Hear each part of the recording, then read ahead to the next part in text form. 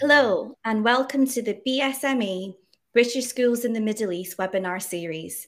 My name is Aisha Khan, and I'm the Professional Learning Coordinator here at BSME.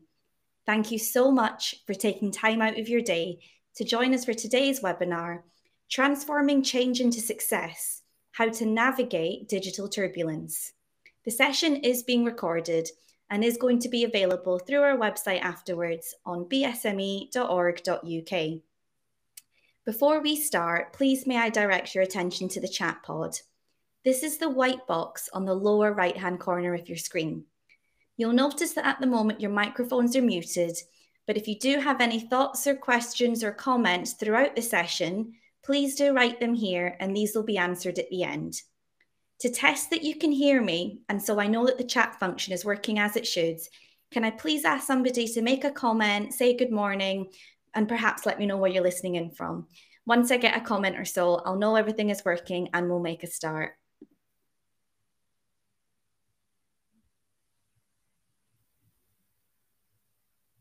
Hi there, thank you. I can see that that's working. Thanks for that confirmation. So today's webinar, Transforming Change into Success, How to Navigate Digital Turbulence, is delivered by Jonathan Cronin in partnership with Education Horizons and Engage. Jonathan has been an accomplished leader of ICT in schools for over 20 years, including the assistant head for e enhancement at the British School of Barcelona, which is a leading international British school in Spain. He does have a master's in e inclusion from King's College in London and was a fast track mentor for head teachers and a member of the King's College's Initial Teacher Training Committee. Prior to his 10 years in independent education, Jonathan taught for nine years in the British state school system, including the head of IT at an Ofsted outstanding school. Jonathan joined Education Horizons and Engage in 2016 after successfully implementing the Engage MIS in his previous role.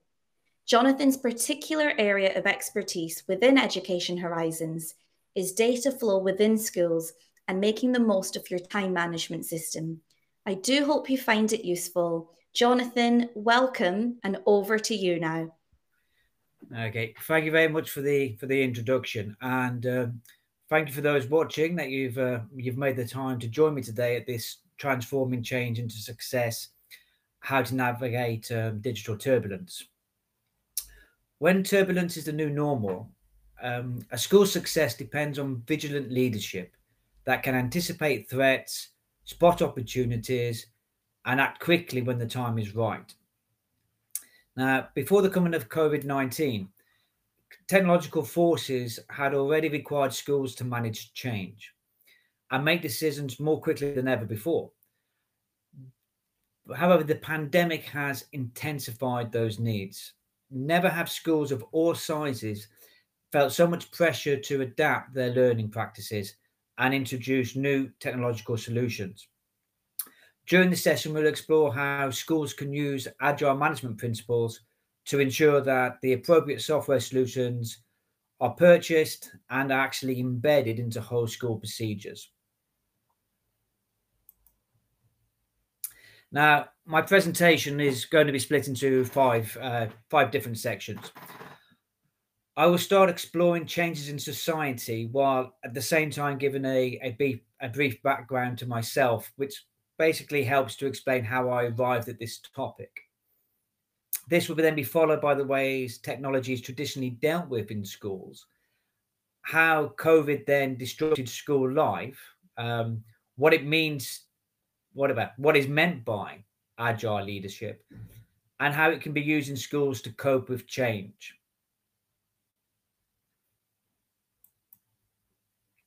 Now, I was a teacher at the um, the chalkboard, uh, and then the whiteboard, and then the flipped classroom for roughly twenty years. And uh, old habits do die hard. So I begin with a simple starter activity uh, to break the ice and to give me a bit of thinking time as well.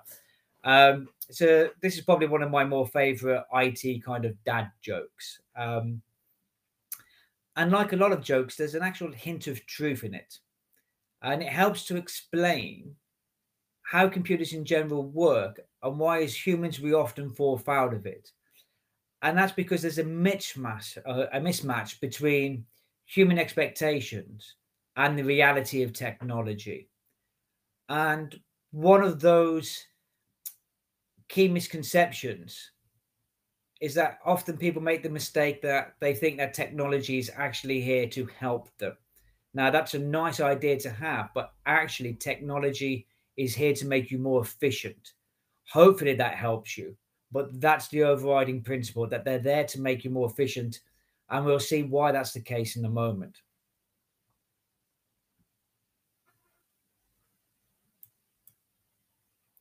Now, I started out myself in the computing world back in the early um, 1980s on what was a Spectrum 48K and buying a weekly soccer comic that was actually printed on paper, not on the, the glossy paper that you might get now, or the idea that actually you had to wait a week and actually walk to a shop to actually get uh, something to purchase news or information.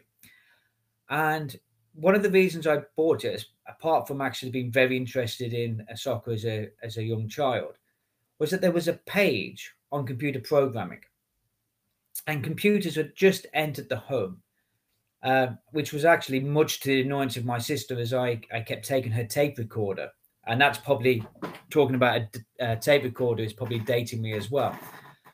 Uh, for those of you not familiar with the, the Spectrum, you had to load games via tape cassette recorder.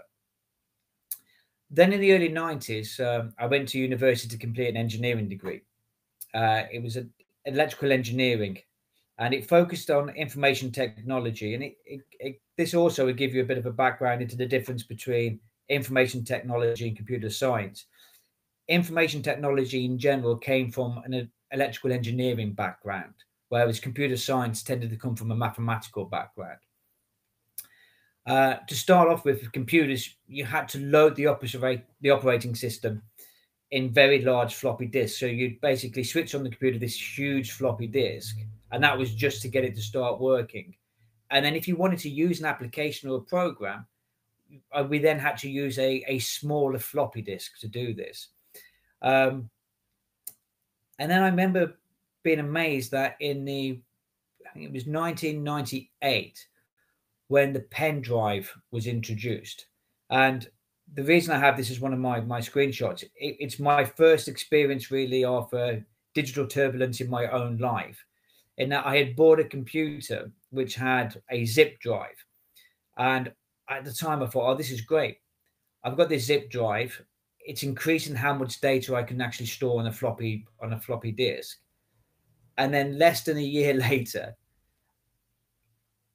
USB pens had come in with incredibly more uh, gigabytes of memory that I could store on here and were a lot more convenient to move around. But the reason that I'd wanted the zip drive, which I now, when I look back on this, was it was my first year of teaching. And I actually wanted to work at home. I was I just started teaching in London. And it had occurred to me that rather than staying in work and then leaving and then hitting rush hour traffic, as a teacher, it would be nice if I could leave home, avoid the rush hour traffic, and then I didn't mind working a bit later at home if I had to do this.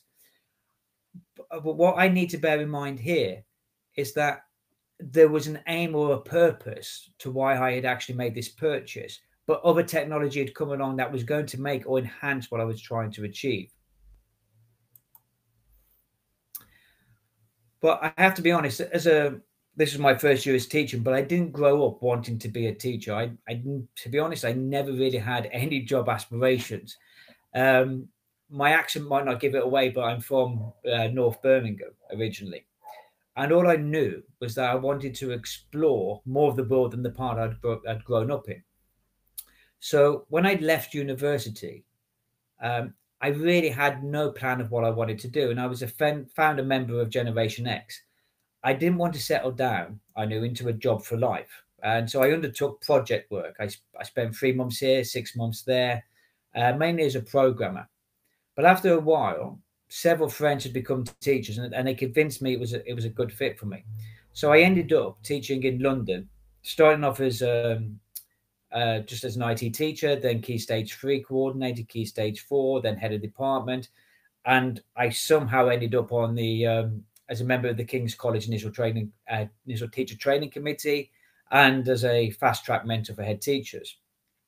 Then, after close to 10 years of teaching in a state school in London, I decided to have a complete change of scenery and I, I moved to Barcelona. But before I knew it, 10 years had passed and I'd moved from a, a role as head of department to assistant head, filling in, as is the way in international schools, various roles along the way, and wearing different hats at different times during the school uh, the school day. Then six years ago, I I joined I I joined Engage uh, after basically introducing and maintaining the system. So a lot of my background comes from this idea of of I've taught in state schools and I've taught in the independent schools, which is basically in, in the international market. So that that's my my background in there.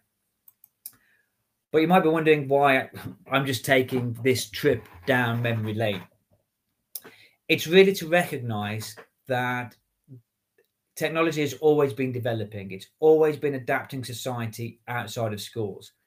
And this is one thing I'd noticed when I first went into schools how they were encapsulated in a way that meant technology didn't really impact on them too much. Um, and if any of you have seen Karl Fisch and Scott McLeod's um, 2008 viral video uh, about exponential times, so in that video, which I'm not going to show now, which I, I sometimes do in a, in a in a presentation, they were looking about how quick technology had advanced. And if we have a look here, it took the radio for about 38 years to reach an audience of 50 million. It took Pokemon Go just 19 days. So you can see that disruption has always taken place. Things have developments have always been happening in society, but they're speeding up and it's moving quicker. Jobs for life are, are very few and far between anymore. And many jobs that we're that we're involved in at the moment didn't exist when we were in education. And that's going to be true for our own students. When we start thinking about education and what we're trying to achieve, we're basically preparing um, many students for jobs that we don't know are going to exist. And I have a, one example of this. I have a friend who now works in the advertising industry as a drone director. So he takes a drone, there's a video on the drone. He flies around and he makes videos uh, and directs these videos. So that we would never have dreamt of when we were growing up as student uh, as students. Um, and so it does beg the question: How do schools prepare pupils for the future if they don't know what the future is and it's going to arrive so quickly? So the future is unpredictable, but that doesn't mean we can't take educated guesses of what will happen next. One thing we can do is we can keep an eye on what's happening in tech in technology and be open-minded about where the next the next big thing will be. I mean, what's what's the big thing which is going to hit us next?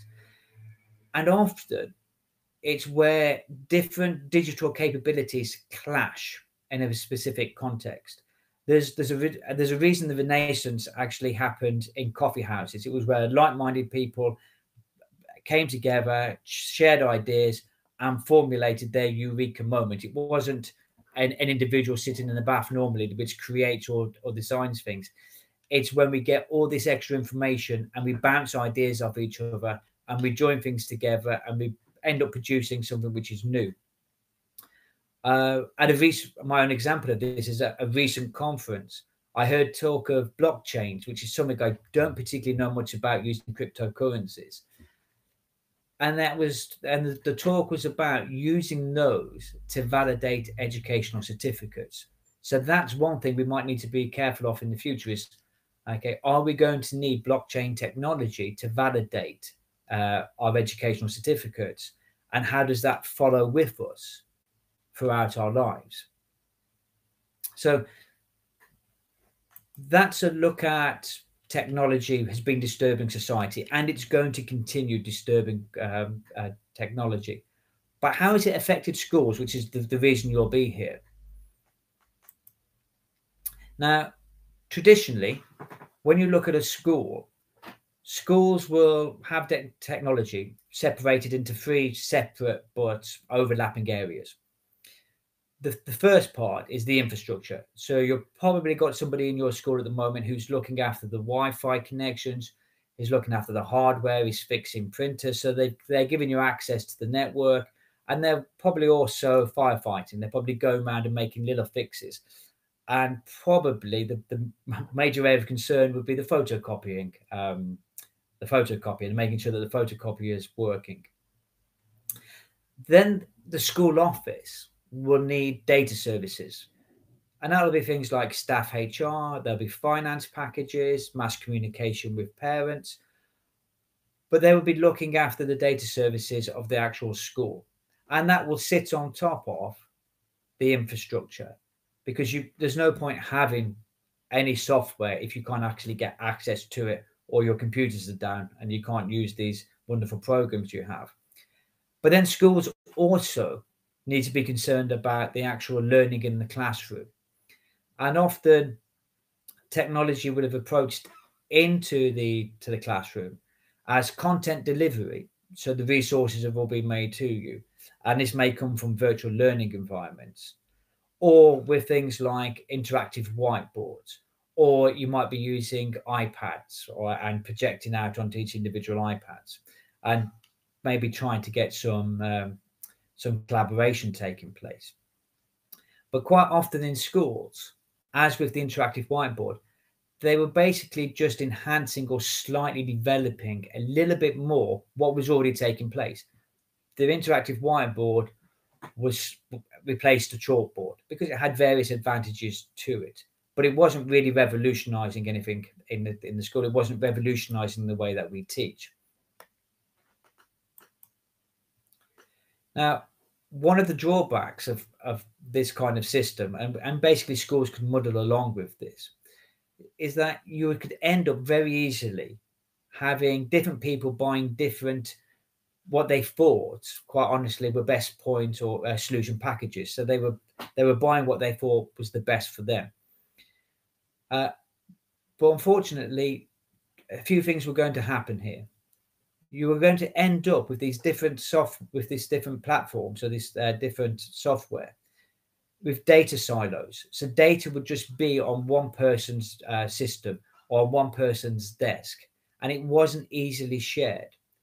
The next point would be that you would have overlapping functionality and and therefore you've got systems which might be redundant. You might be able to get rid of a few systems because the other systems can actually do this.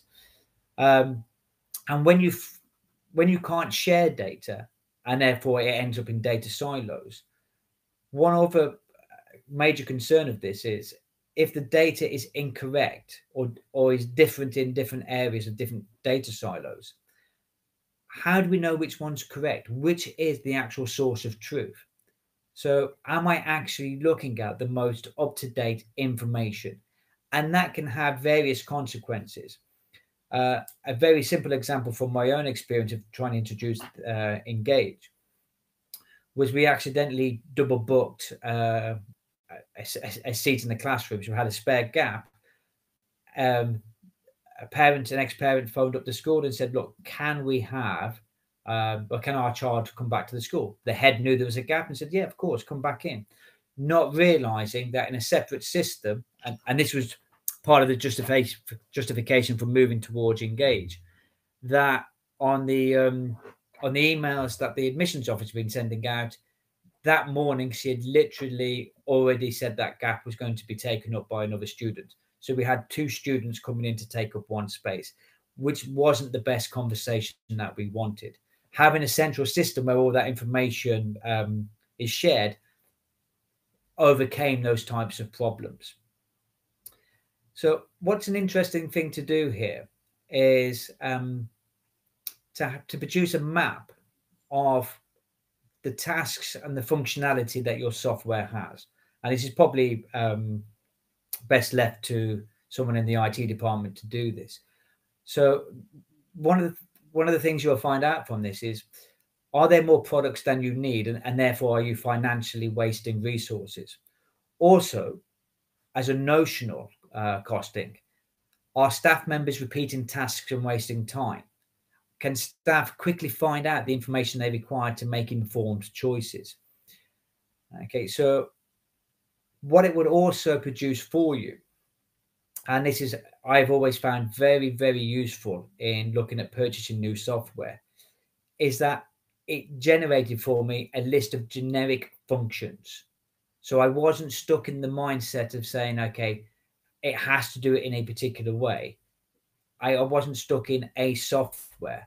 I have a list of functions. If I am buying a new piece of software and I am talking to a salesperson, what I would like to know is how does this platform that you're trying to get me interested in, how does it accomplish these actual functions that I require?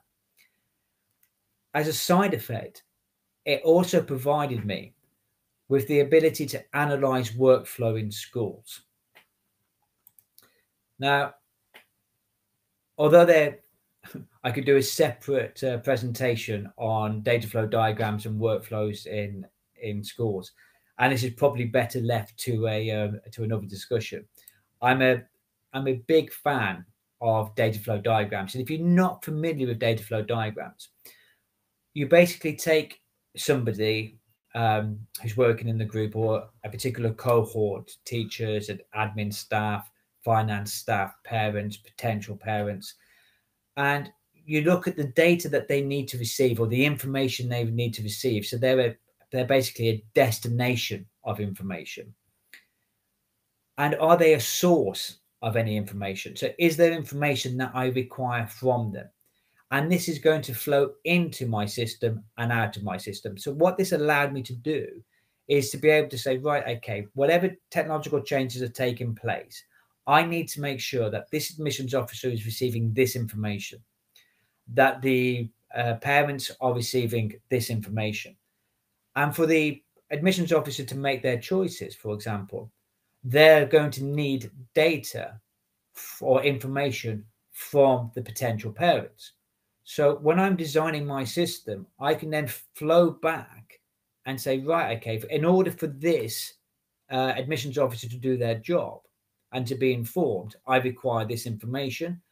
My system, and this is the bit then you leave to the uh, to the platform that you've purchased or you leave it to your IT department, is how is it processed so it appears in a format that I can understand? Because as SL, as senior leadership, we don't really want to see um, all the actual facts and figures. We want to have a dashboard. So we want to very quickly be able to see a dashboard. And one of the things a lot of systems will be now moving toward, and especially we're moving towards this, is dynamic dashboards, which basically give you up to date information. But in order to create those dashboards, I need information and I need to know where that information is coming from.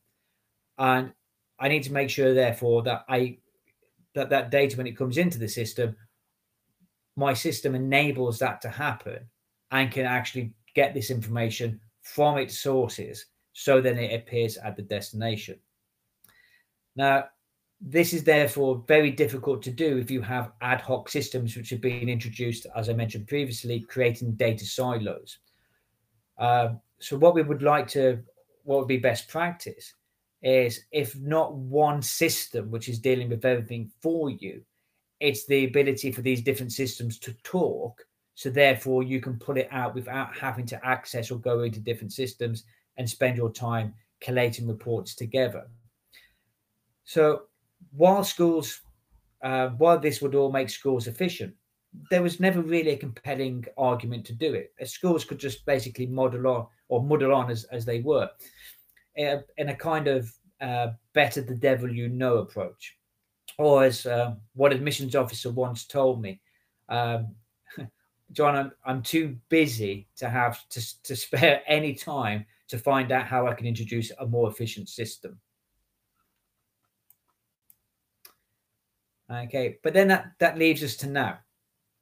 Um, because as I, I just mentioned, schools were, if they chose to, could ignore technological advances. They, they could basically encapsulate themselves and say, look, we're going to carry on as is, as we always have done.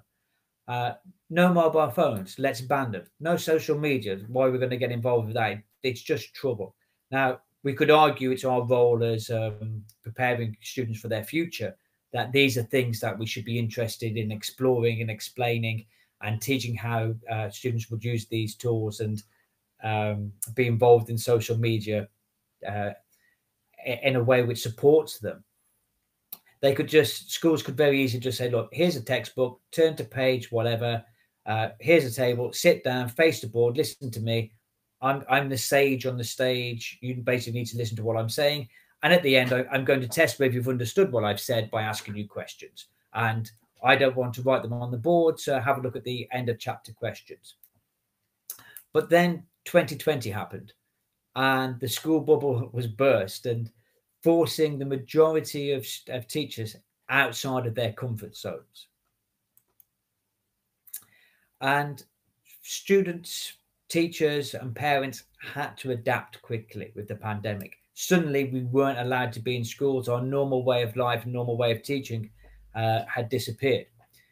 And teachers tended to then end up in broadly um, one of three groups. They either thrived with the um, the technology, they liked it. They're like, "This is great. This is helping me to do stuff."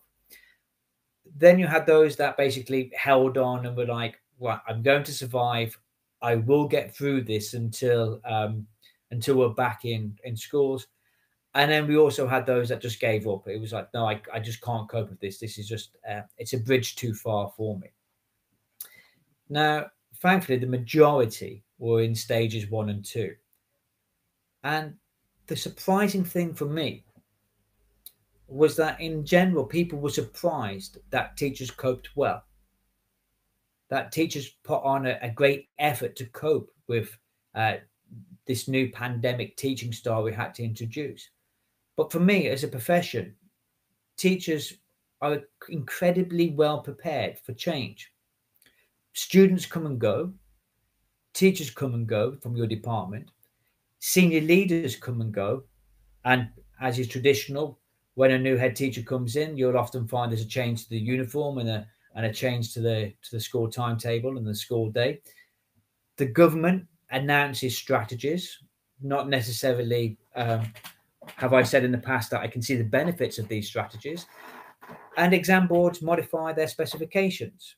Um, and also, if anyone who's ever taught a class can understand how very quickly uh, the principle of, of, uh, the, of chaos theory, where a small action can have a, unintended consequences and can just escalate into something a lot bigger. And that can be from as trivial as wearing a new tie, uh, which can lead to unintended consequences as the, the students get excited by the fact that you've decided to change your, your tie. Um, so, so there it is. We we have the pandemic's arrived, and we've had to cope with it. Now, as I said, it, it to me it was never surprising that teachers could cope with change. Um, and it pretty much follows the uh, diffusion of innovation theory, which was developed in the the, the 1960s by um, E. E. M. Rogers.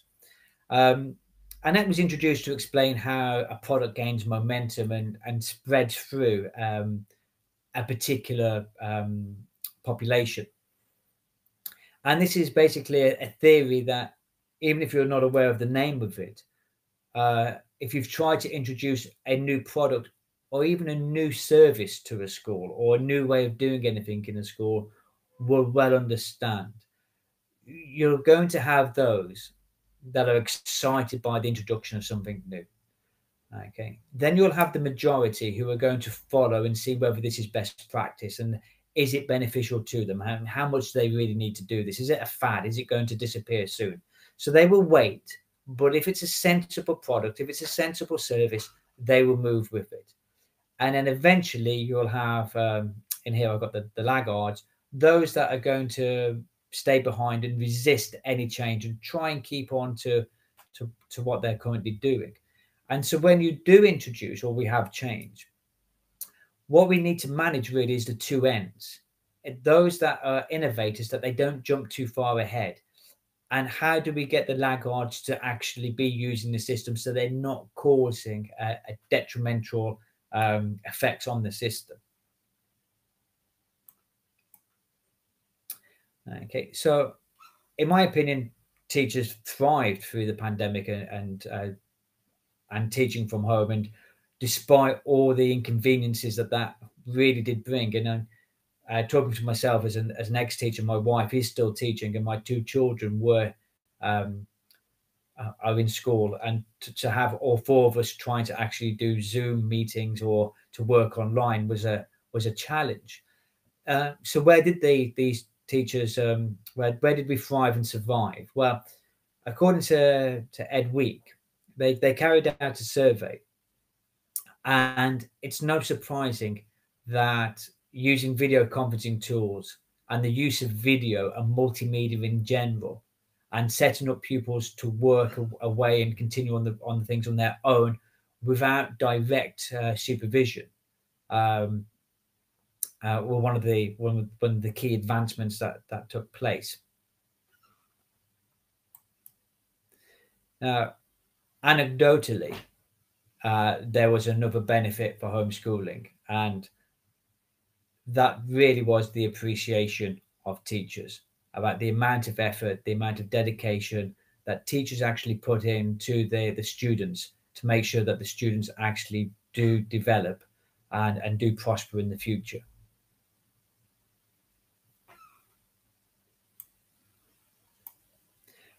So to I'm going to give myself a, a bit of a breathing space in the moment. Uh, but what I would really like you to do is to think about all the changes that happened over the last two years and what would be some of the things that you would like to keep. And it would be great if you could uh, write those into the into the chat. Um, for me as a parent and especially a parent now that that does a lot of traveling i spend a lot of time in airports and hotel uh, hotels and and like i said traveling in general it was the parent teacher meetings taking place online. I was already getting emails. That wasn't so much of a problem. I mean, I, I would like to have a bit more uh, information about how my my children are are progressing. But really, the the one thing that I found extremely useful, and I wish this had taken place before the pandemic, was that I could was able to do Zoom meetings. Um, not I keep saying Zoom. There are other kinds of video conferencing systems available to you, um, but that's what I found the most most beneficial. So yeah, so have a quick think. What would you like to keep?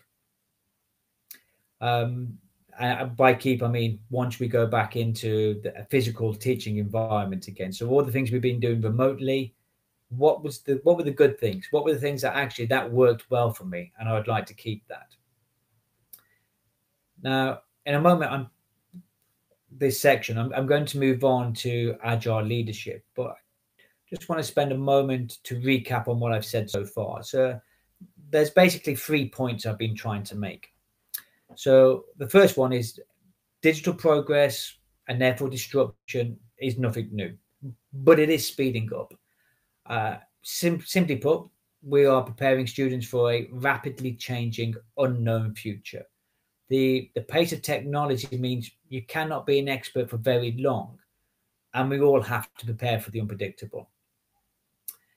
My second point was that schools ended up quite often with systems that were ad hoc that created data silos. There wasn't really a joined up thinking. That's not true for every school but often that's what happened and then my third point which is very very important is that teachers, parents, and pupils can use technology. I've often heard that as an excuse from head teachers that I'm talking to is that our parents won't understand this, our parents won't use it.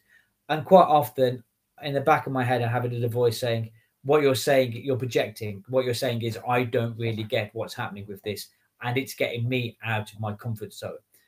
Uh, what you'll find with the pandemic is that teachers, parents, and pupils could all step out of their comfort zone. And you'll be surprised at how much technology that they could cope with. So I'll pause for a moment, uh, mainly so I can get my, my own breath back slightly.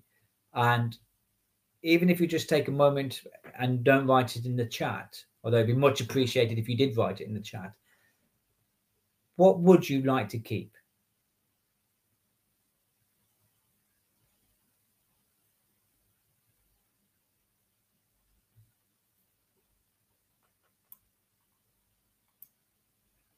So, agile leadership. So, I've had a look at saying, okay, there's going to be disruption that cannot be avoided. Fine. So, how do we cope? So, how do especially senior leaders cope with this disruption? Well, my recommendation is to move towards agile leadership. Now, I don't want to plunge this uh, presentation into a techie wormhole, but I think it's important to understand the background of agile management techniques before exploring them in schools. So it started out as a method to speed up software development. And this is where it comes from my own uh, computer science, uh, electrical engineering background. But it can be used wherever speed counts. And you need agility in meeting the needs of customers, where, where this is basically crucial. And basically, in, in 2001, 17 uh, um, software developers published a manifesto. Now, this manifesto they published, why did they go out of their way, way to do this? Well, consider the, London Black Cab. So, in the days before Google Maps, the most efficient way to, to find a building location in London, as as I well know from from living in London for 10 years, uh, was to jump into the back of a into the back of a black cab. The, the taxi drivers knew their way around the city, uh, basically with every street. Now, for those of you who've ever been in London, there's no grid system. I, I, now live in Barcelona, which has a lovely grid system. If you go to New York, it has a lovely grid system. You, you make an error, you just basically you can basically can always get back to where you want to go. But that's not the same in London every pathway can end up in a completely different area and you really need to know where you're you're going so it's so complicated the roads in in um, london that it, this wasn't a skill that you could learn overnight and taxi drivers had to pass something called the knowledge and they could often take several years of study and practice to pass this test and on average it took uh, 12 attempts for a taxi driver to pass the test. And this is a was a very big thing, and it, it, it was a, a badge of honor for a taxi driver that they they had done the knowledge. But then in 2015, uh, a well-known uh, cabbie school uh, that teaches the knowledge called Knowledge Point shut its doors. It closed down. This GPS and Uber had changed the game. They had disrupted the market. Now, in order to cope with this rapid or quick level disruption, the manifesto was simply a set of values and principles to overcome the weakness of the traditional hierarchical pyramid management structure. Now, in a school setting, we simply change uh, value two to, to rather than saying working software to lessons that work. And we change customers to mean parents, students, but also staff. That's very important The senior leaders that we also include our own staff in this, that they are that they are people we need to collaborate with, not necessarily dictate to, although this isn't an exact science. There were also 12 principles to uh, agile management. But on the, the, the screen here, I've, I've only mentioned the ones which are relevant to schools. So we need to build a culture where change is welcome. We need to cooperate. That's clear. So we need to have the ability to to, to be able to communicate our, our ideas effectively. Now, now, this is a difficult skill in itself, but management has to give the people around them the the security that they are allowed to say their opinions. So there is that freedom to express yourself. So, and that individuals are motivated and trusted. That we encourage face to face communication. Like I was just mentioning that uh, we don't want people living in fear. And we need to keep things simple. There's nothing worse as teachers, you'll know, where work is generated to justify somebody's role. So we thought, oh, this would be great. I'm I've got career progression for myself. And in order for me to progress, I am going to basically give other people work to do. And the final thing is that we need to undertake self-review often, uh, but we need to regularly undertake self-review. I was about to say often, but I don't really mean that. What I mean is it needs to be set up at a, a convenient time. So, but we do need to be doing self-review. So what we're looking to do by introducing these values and principles is we're trying to move away from the style of leadership, which was a top down hierarchy, to an organization that enables all staff to be proactive problem solvers, to, to think for themselves and to communicate solutions across the organization. We're trying to uh, improve the basically the, the collective intelligence of our of our schools also, for, staff, it, in a phrase, you'll find that they will go the extra mile because they are more involved in what's happening rather than being dictated to. Now, a lot of schools will have that traditional top-down hierarchy pyramid, but it hinders uh, vigilance as leaders because quite often as a leader, you'll find yourself looking down and making sure that people are following the rules and the regulations than looking out about what's happening and about the opportunities and threats there are to your school.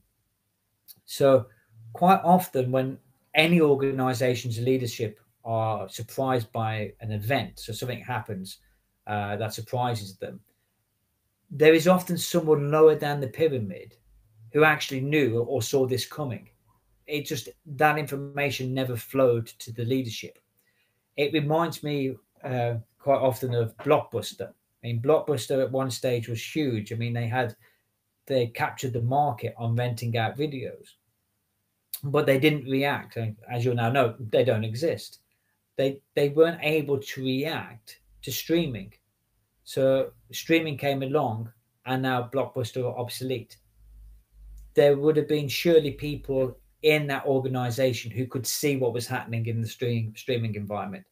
But for whatever reason, it never got to the management or the management ignored it, but they weren't able to cope. If I go back a little bit further in time to uh, from my own uh, memories, the the um, Xerox photocopiers created the, the graphical user interface for computers, and they also invented the mouse but they just couldn't see the potential of it. And they ended up, in essence, giving it to Steve Jobs at Apple. And now we all know what Steve Jobs at Apple was then later on able to produce. Um, but in order for us to adapt these values and principles and to move away from uh, the leadership pyramid, it is worth remembering or keeping in the back of our mind uh, the management saying that culture eats bre- each strategy for breakfast. Um, I mean, that's not to say that strategy isn't important. It's just that an empowering culture is a clearer route to organizational uh, success, uh, where individuals take responsibility for results uh, and moving you away from uh, bureaucratic silos where formulaic approaches uh, dominate how people actually work. And so, I, I, my my five points that I take away from this from Agile is that we need to welcome change. We need to be conscious of data flow when creating procedures. So, and these procedures could be the introduction introduction of um, of software or technology. So, if I'm doing this, where's data coming from? Where's it going to? Is this this new system I'm introducing is it going to produce the information which is required and can it collect the information which is required and to build teams to move away from this hierarchical structure. Now, these teams can be small teams that don't always exist forever, um, and to set generic goals, uh, to remove technology from the question. So, if you start thinking about what you're trying to achieve, as I said before, you would um, take tech, basically technology out of the question. Then you need to trust your teams and keep them motivated and you need to stay informed, hence the, the communication part. You then need to undertake self review and you have to be willing to step outside of your comfort zone uh, to keep your curiosity.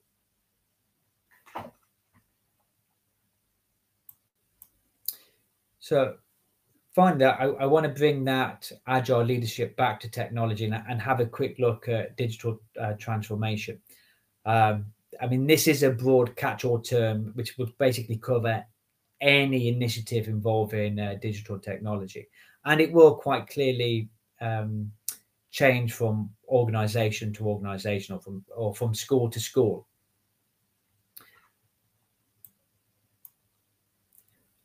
Okay, so here are basically some trends I I would be looking out for, and what I would like you to do is to think about for each of these points, are there possible opportunities for your schools here? Or are they are there opportunities, but also do they pose a threat to the school? Is there something here which could impact on the way that you're trying to teach? Now, can your current management structure cope with acting on these developments? So and I'll very briefly just go over what the, these things are in case you're not aware. So, the Internet of Things. So, basically, we're connecting devices up to the uh, to the internet, so you can access them remotely. Washing machines, refrigerators in your home, for example, can be controlled uh, via the internet. So, augmented reality. Now, this is basically the idea that you could, for example, on your phone or a camera, you put that over a particular area and it enhances and basically creates things on your phone while you're still looking at reality. Um, one of the first examples of this was, I think it was on the uh, the New York subway, where you could put your phone over a, a chair and then it would explain. Um, I know it, a, an alligator came out for some reason but it would also be able to explain a little bit of the history visually on your phone about that area. And it actually superimposed it onto the image you were seeing. Uh, cybersecurity, I think this is definitely comes under the, the, the threat heading here, but we're we're all going to have to be aware about are we protecting the data that we have about students? And I think that's vital and probably goes without saying but we've also got increased personalized learning as well taking place. So the use of technology to do that, which harks back to a long time ago where personalized learning, but it was too difficult to introduce on pen and paper. Uh, but can we use technology to do that? And then my fifth one, which is something I'm, I'm particularly keen on, uh, is artificial intelligence and big data. I in my head I start to think about something like Jarvis from Iron Man and the uh, the Marvel movies. That could it be possible in the future that teachers will have their own personal assistant, someone that it doing a lot of the marking for them, and also analyzing that big data to show them maybe even kind of like a heat map of okay, this is where as a cohort's weaknesses are and therefore have you thought about doing this lesson plans and then being able to search the entire internet for uh, to share best practice from other teachers and other educators to say look this is what um, has worked in other schools and isn't this a great lesson plan and isn't this a great thing that you could do uh, with your schools? So there's quite a few things in technology which are on the horizon and could all mingle together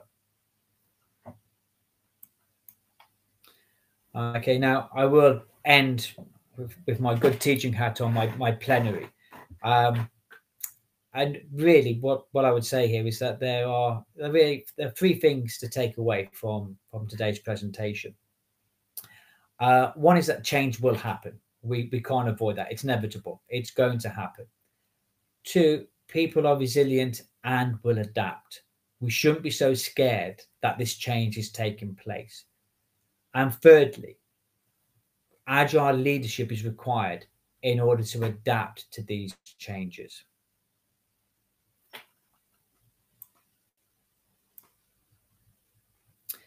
Okay, so really there's a chance to ask questions um, or, or to write questions into the chat. Otherwise, I would like to say thank you for attending this presentation.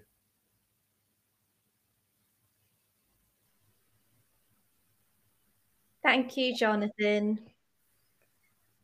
We'll just give it a few moments to see if there are any questions for you. Um, are you happy for us to share your details for anyone that is watching this as a recording? Yes, of course. Lovely. Okay, so I think what we'll do is we will wrap it up here.